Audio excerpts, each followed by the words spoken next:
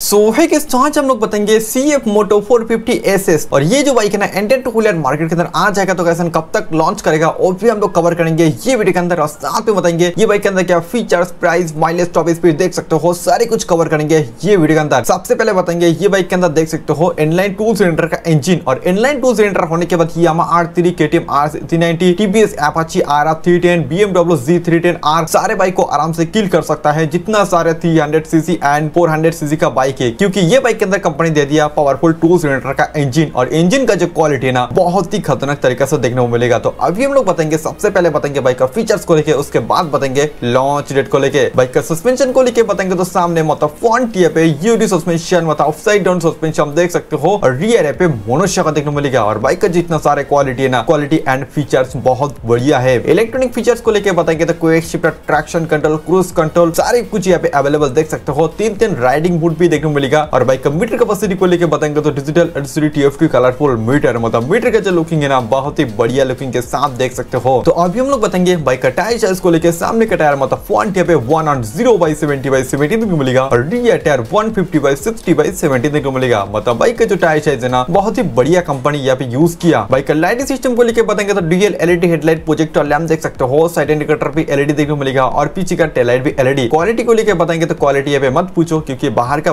है। और बाहर का जितना सारे कंपनी जैसे होंडा सीबीआई 250 आरआर सारे बाइक का जो क्वालिटी है ना, बहुत ही बढ़िया क्वालिटी के साथ देख सकते हो। टॉप स्पीड को लेके बताएँगे तो 199 जा सकता है इंडियन रोड के अंदर, क्योंकि बाहर का जितना सारा रोड है, वहाँ पे तो भाई 199 ही शो करता है टॉप स्पीड और माइलेज को लेकर बताएँगे तो 20 से 25 केएमपीएल तक देख सकते हो, ज़्यादा माइलेज देखने को नहीं मिलेगा, क्योंकि ये जो बाइक है ना पावरफुल टू सिलेंडर का इंजन और टू सिलेंडर का जितना सारे बाइक है, सारे बाइक के अंदर ट्वेंटी से ट्वेंटी तक ही मैक्सिमम देख सकते हो। प्राइस को लेकर बताएँगे तो इंडियन टू व्हीलर मार्केट के अंदर जब आएगा, तभी गाइस प्राइस को पता चलेगा क्योंकि ये बाहर का बाइक है। बाहर से जब इंडियन टू व्हीलर मार्केट के अंदर आएगा, तब प्राइस यहाँ पे चेंजेस भी हो सकता है। अभी हम लोग बताएँगे लॉन्च डेट को लेकर। सीएफ मोटर ने कैसे ऑफिशियली बता दिया। हम लोग इंडियन टू व्हीलर मार्केट के अंदर भी ये बाइक को लॉन्च करने जा रहा हूँ। इंडियन टू व्हीलर मार्केट के अंदर। तो बहुत जल्दी कैसे लॉन्च करने जा रहा है। जब आएगा कौन कौन बाय करोगे, वो भी एक बार कमेंट करके बता देना। तो ऑब्वियसली गाइस एक ही कमेंट होना चाहिए। ये बाइक क्या यामा आठ थ्री को किल कर सकता है? एक ही कमेंट गाइस होना चाहिए। आपको क्या लग रहा है? अगर किल कर सकता है तो ऑब्वियसली वीडियो को अंदर लाइक करो चैनल को सब्सक्राइब करो और ऑब्वियसली कि एक कमेंट करके बता देना। और आज का वीडियो थोड़ा सा भी इंपॉर्टेंट हुआ तो वीडियो के अंदर लाइक करो। चैनल के अंदर नया हो तो ऑब्वियसली चैनल को भी सब्सक्राइब करो सो कैसे चले आज का वीडियो इतना ही एंड टाटा बाय बाय मिलते हैं नेक्स्ट वीडियो के अंदर।